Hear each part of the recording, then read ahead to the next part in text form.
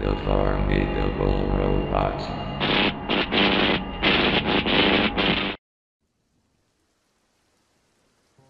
I remember seeing a short film on Cartoon Network that was premiered after an episode of The Amazing World of Gumball a few years ago.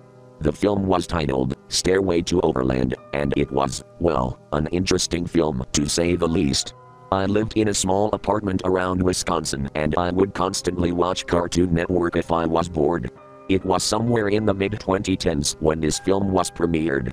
The film was around like, I don't even know, 5 to 11 minutes. I just couldn't understand the description of the movie, but like I said, it was an interesting watch. Here's what basically happened. I was at my apartment with a 24 inch television in my living room. Yeah, it's not really an interesting apartment room. Since I don't like living in apartments, I also want to say that I do work at a Goodwill store that is nearby me, and I have a few friends who are big fans of Cartoon Network and even watch the channel to this day. I think they were friends that I could relate to.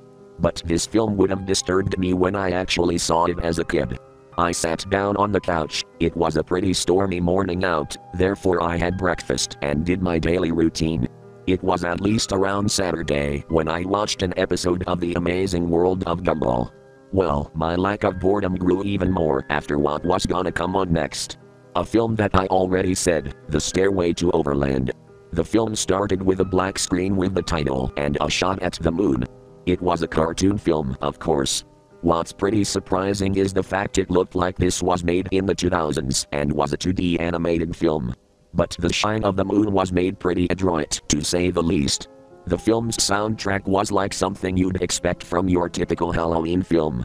What was more interesting the fact it was around October when I watched it. The scene cuts to a car with what appears to be a cartoon man. The style looked like it appeared to be a style of South Park mixed with a drawn body, which was quite interesting, to say the least. However, the head was drawn bigger than the width of the body and was a circle of course. The man had a brown jacket and gray pants with a brown flat cap. He also has blonde medium hair and brown eyes. His name was Ian, from whatever I heard. What Ian grabbed out of his vehicle is what appears to look somewhat exactly like a body covered in white tarp. Pretty disturbing for something to air in a channel aimed for kids, eh? Well, I will later explain why Ian actually got him. He basically went to a nearby graveyard to dig up the corpse. There was fog covering the graveyard and the moon shines towards Ian.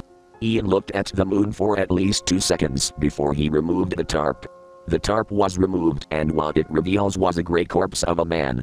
It was rotting and the body did have maggots in them. Which was really disgusting, however there was no blood on the body. This is just like in the Nasty Patty episode of SpongeBob SquarePants. Ian shovels the body, this lasted for at least a minute or two, and Ian was definitely sweating up. But he did not give up and fully dug the body towards where it would be. After this, Ian buried him and walked out. Well, until something was gonna come out of the ground, and it was pretty spooky. What came out of the ground was a massive fetus, which had legs of a centipede, which had spider eyes and an uncut umbilical cord, the fetus had bat ears and had an earthworm as a tongue, in which the earthworm had a mouth and it's shaped like a circle. Ian didn't care. He just stood there, waiting to die and get eaten by the fetus. In which he did, off screen. The film ended there. It was astounding, but not scary. But I'm pretty sure there might have been terrified children who have accidentally watched this, and I can guarantee you that. If I was a young child, I would have been pretty spooked on what I have just witnessed since it did include a bug like fetus in the film. I looked up this film, Stairway to Overland, online two months later, and what I have just seen is what probably explains what the film was actually about. It reads Stairway to Overland was an animated film made on October 31, 2002, and was like a Halloween short film that was aired on the channel twice.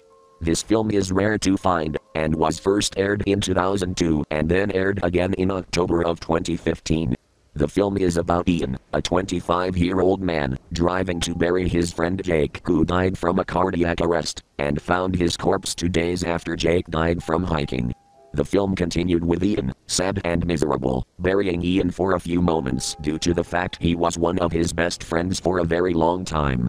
Ian, however, knew that this graveyard was cursed or haunted and the fact he wanted to join with Jake. So he went to this cemetery. Then the massive bug like fetus came along, so Ian can get devoured from losing a friend. The film was cut due to the fact of it being scary to young audiences at the time. But the movie did have a few deleted scenes. Ian had two parents who were abusive to him and would constantly hurt and abuse him. He was also a victim of bullying until he found Jake and began to relate to him. The person who Ian felt like he only loved was Jake, and he would later die from cardiac arrest from hiking. It isn't known how he got the cardiac arrest, and Ian was too miserable and therefore had to join with Jake.